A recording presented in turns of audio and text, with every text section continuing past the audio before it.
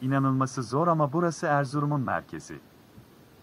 Erzurum'un en hareketli, en popüler, ticari anlamda en işlek yeri, hiç şüphesiz Cumhuriyet Caddesi'dir.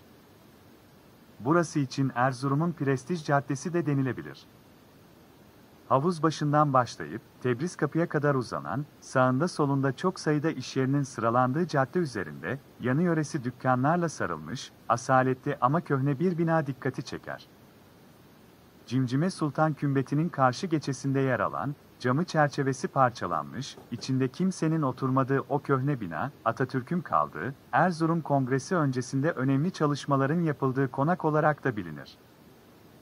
Erzurum kültürü üzerinde önemli araştırma ve çalışmaları bulunan emekli öğretmen ve yayıncı Muammer Çelik, uzaktan bakıldığında tek bir konakmış gibi gözüken binanın aslında bitişik iki evden ibaret olduğunu söyledi.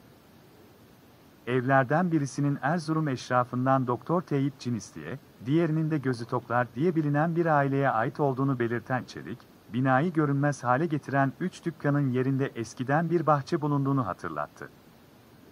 Kimsenin bilmediği, bilenlerin ilgilenmediği, ilgilenenlerin sıkıntılarını gideremediği, çatısı çürümüş, neredeyse viraneye dönmüş tarihi eser tescilli binaya Erzurum'dan haberler olarak kameramızı çevirdik.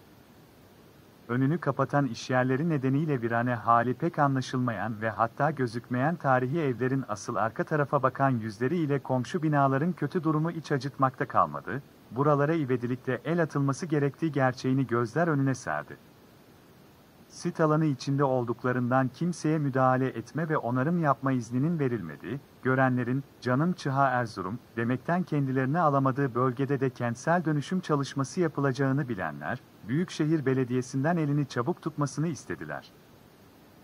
Erzurum tarihi açısından önemli yere sahip binaların orijinal halinin korunarak düzenlenmesini isteyen vatandaşlar, kale çevresinde yapılan yanlışlara bu bölgede meydan verilmemesi gerektiğini belirttiler.